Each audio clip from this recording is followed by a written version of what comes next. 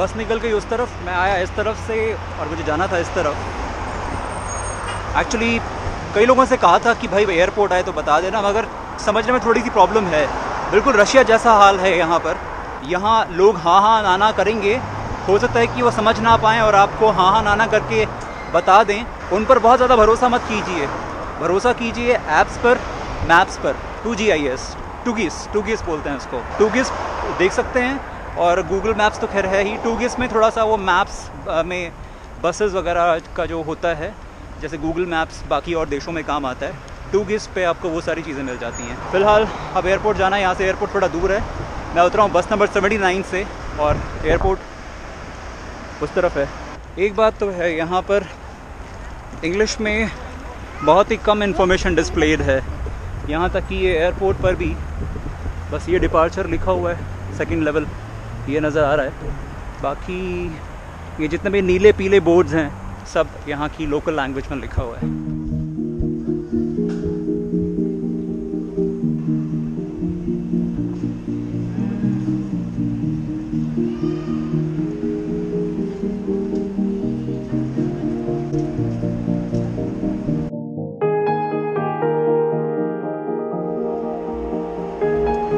अभी अभी प्राप्त जानकारी के अनुसार मेरी जो टिकट थी, वो अपग्रेड हो गई है इकॉनमी से बिज़नेस क्लास में। वाह पहला इंटरनेशनल ट्रिप जिसमें मैं बिज़नेस क्लास में ट्रैवल करने वाला हूँ।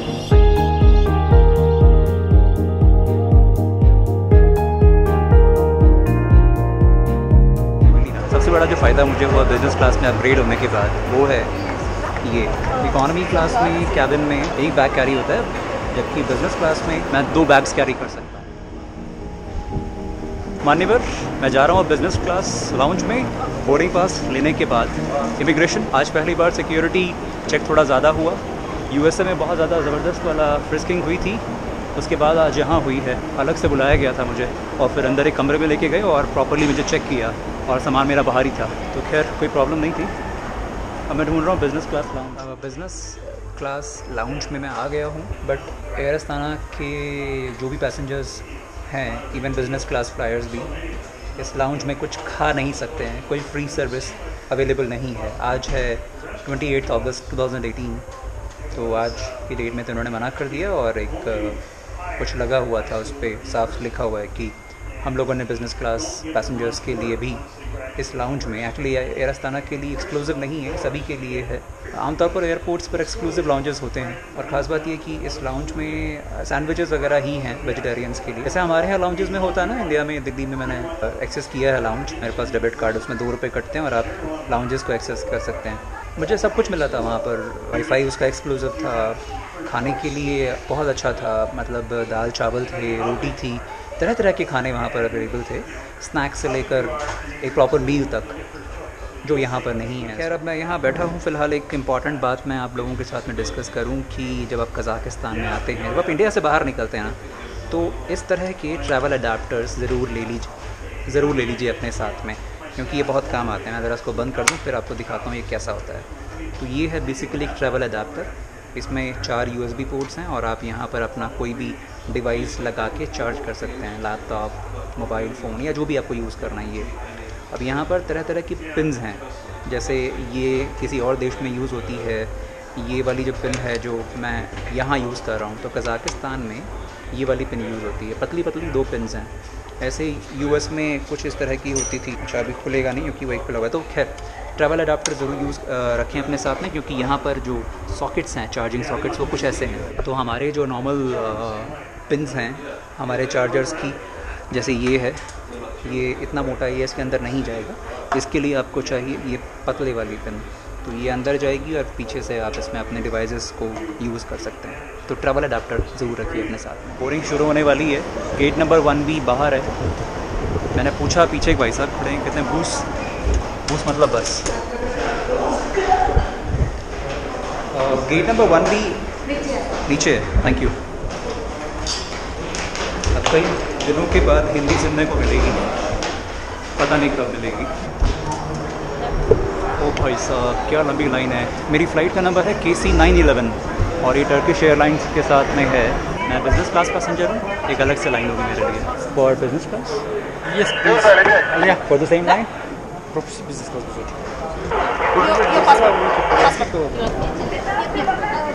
sorry thank you Istanbul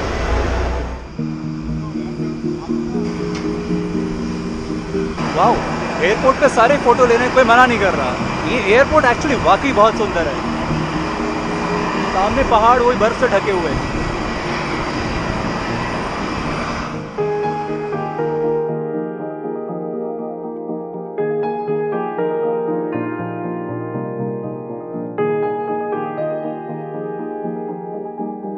तो जनाब, मैं हो चुका हूँ सवार बिज़नेस क्लास एयर अस्ताना के। मेरी सीट है two A two alpha business classes से लेग स्पेस का तो कोई कंपैरिजन हम कर ही नहीं सकते हैं। बहुत ही ज़्यादा ज़बरदस्त है और सीट्स ऑफ़ कोर्स बहुत कंफर्टेबल हैं बाकी बहुत बड़ी स्क्रीन है। यूएसबी पोर्ट यहाँ पर है जो मेरे को सबसे पहले चाहिए होता है। और यहाँ पर हैं चार्जिंग पॉइंट्स वैसे मैं जब जिस एयरक्राफ्ट में दिल्ली से आया था अस्ताना अलमाटी तक, उसमें भी था, इस इकॉनमी क्लास में। थोड़ी देर में जलपान सेवा शुरू हो जाएगी और मुझे इसका, सच बताऊँ, बहुत बेसब्री से इंतज़ार है पेट, ऐसा लग रहा है, पाँच दिन से मैंने कुछ नहीं खाया।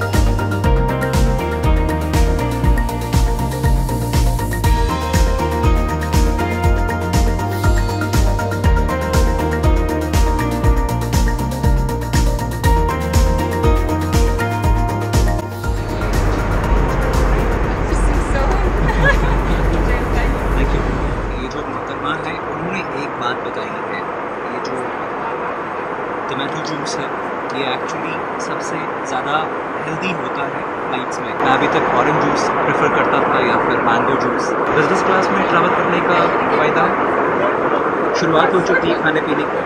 मैं एक्चुअली अपना वीडियो एडिट कर रहा था और साथ साथ ये भी चलेगा और ये भी चलेगा।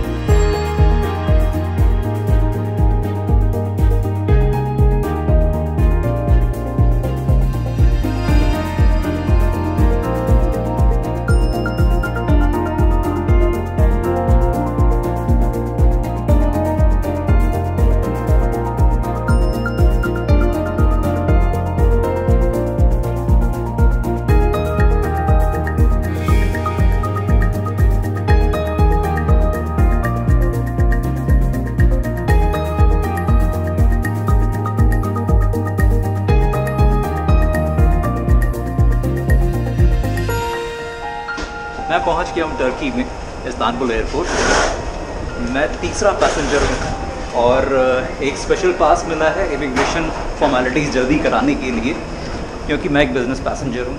देखता हूँ, आज कितनी देर में फ्री हो पाता हूँ। ये एयरपोर्ट तो बहुत सुंदर है। ये है इस्तानबुल का अतातुर्क इंटरनेशनल एयरपोर्ट स्वागत है आपका टर्की में। जो आधा यूरोप में है और आधा एशिया में।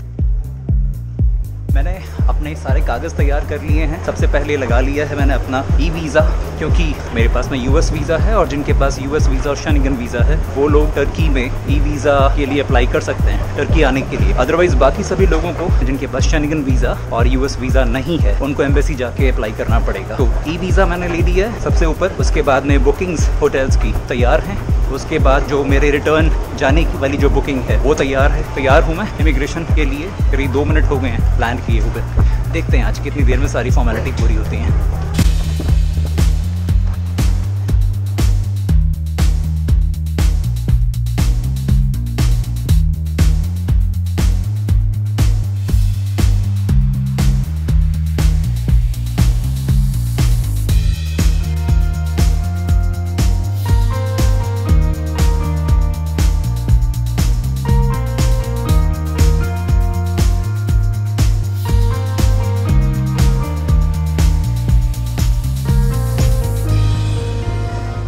जनाब एयरक्राफ्ट से उतरने के सिर्फ़ तीन मिनट के अंदर मेरा इमिग्रेशन हो गया है। वेलकम टू टर्की एक्चुअली ये सारे कागज़ मैंने तैयार रखे हुए थे। पहले से कुछ नहीं पूछा उन्होंने। सिर्फ़ मेरा पासपोर्ट देखा यूएस वीज़ा देखा ई वीज़ा देखा और स्टैंप लगा दी। अब मैं टर्की में ऑफिशियली एज ए टूरिस्ट आ सकता हूँ। आ गया हूँ। बैगेज क्लेम के लिए वहाँ से जाना होगा और बाकी हम्म, मुझे एग्ज़िट करना है सीधा। क्योंकि बैगेज मेरे पास ऑलरेडी है। बड़ी खुशी है। मैं इस्तांबुल में आ गया हूँ। इमिग्रेशन वाला स्टेज पार करते ही यहाँ पर ए हैं, जहाँ पर बैगेज क्लेम करते हैं। ये लिखा हुआ एग्ज़िट मुझे वाकई हैरानी हो रही है। इतना जल्दी तो मैं कभी नहीं निकला। बिज़नेस क्लास का वाकई बहुत ज़्यादा फ़ायदा हुआ। जनता खड़ी है बाहर, जनता। सब मुझे लेने के लिए आए हैं। वाह अच्छा लग रहा है।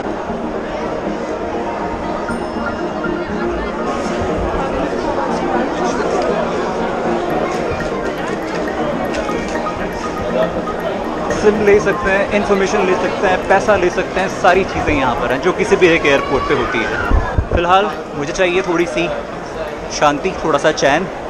चार पाँच मिनट के अंदर अपना सारी फॉर्मेलिटीज़ पूरी करा ली हैं, बाहर आ गया हूँ। इतना काफ़ी है मेरे लिए।